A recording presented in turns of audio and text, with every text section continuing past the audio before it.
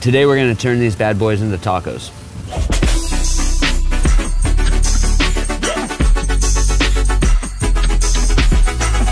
We went through a phase where we were using a lot of bananas at the restaurant. We did a lot of fun stuff, bananas and Korean chili, banana barbecue sauce, spicy banana cream cupcakes. The only thing that wasn't cool was that we were throwing tons of these away. So we're looking at this trash can full of banana peels and just wondering if there's anything we could do with them. After scouring the internet just to make sure what we were trying to do was safe and legal, we realized that you totally could cook with banana peels. They're actually uh, insane meat replacement.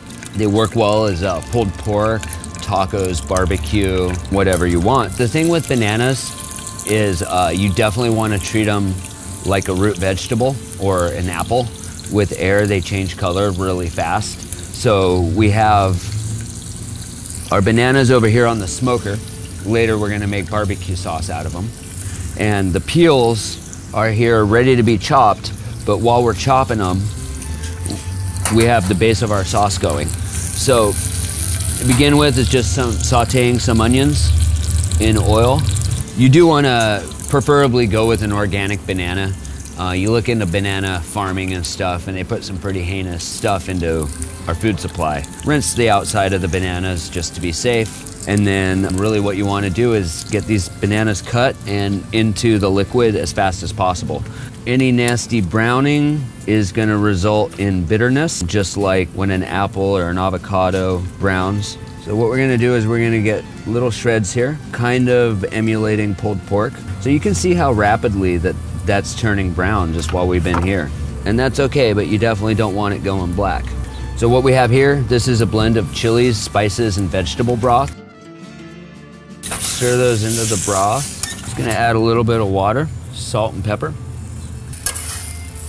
The real key to this is not trying to cook it too fast or too hot.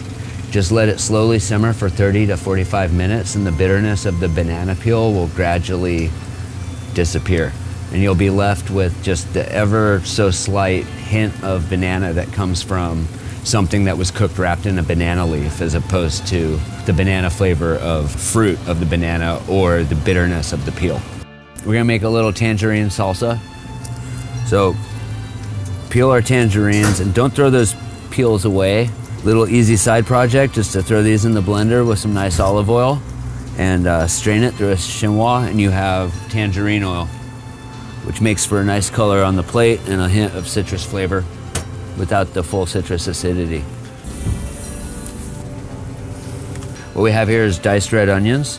This is concentrated tangerine juice I love putting things back in their own concentrated juices and a little bit of super concentrated kombu broth. So we got a little light char on these tangerines, one side, and they'll just crumble. And a little bit of salt and pepper. But not too heavy on the salt because that seaweed broth is nice and salty. Our banana peels have simmered about 45 minutes. Mexican quinoa is done. In this case, we just boil the quinoa the same way you would make Spanish rice. Here we have a wedge of cabbage that we burned on the plancha. You get that nice caramelization in the inside. Quinoa down. This serves two purposes. This is your grain or your starch, with the banana being the part of the meat. Now also soaks up all that nice adobada juice. Next we have our banana peels. Banana peels come out the texture of very tender pulled pork. Then top it with the cabbage.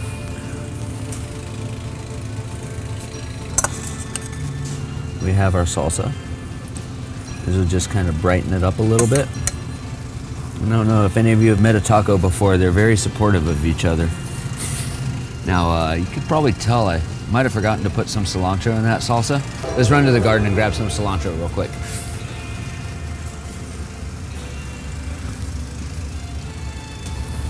So this is my favorite phase. You know, you eat different parts of different plants for different flavors, but there's also different flavors from plants at different phases in their life.